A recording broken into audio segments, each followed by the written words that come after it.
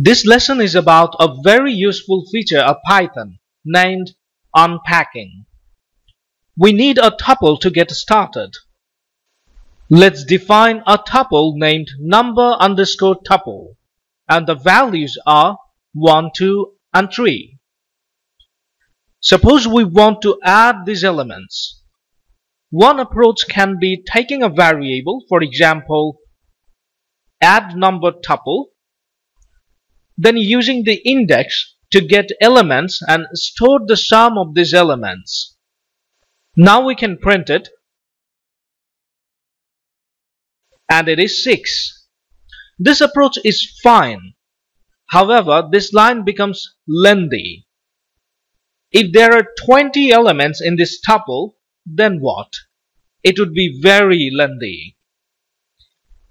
There is another way we can store these individual elements in different variables.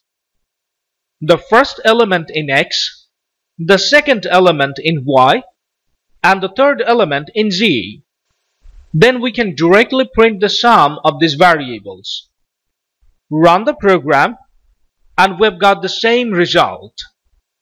In this approach, we need three lines of code for three elements. If we had 20 elements here, then there would be 20 lines. Still, it is not a convenient option.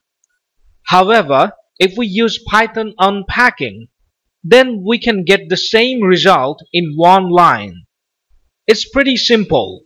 Take three variables, a, b, and c in the same line, then the assignment operator, and type the name of the tuple. Python automatically assigns the first element in A, second element in B, and the third element in C. Now we can print the sum of A, B, and C. Run the program and we've got 6 on the terminal window. Very easy, right?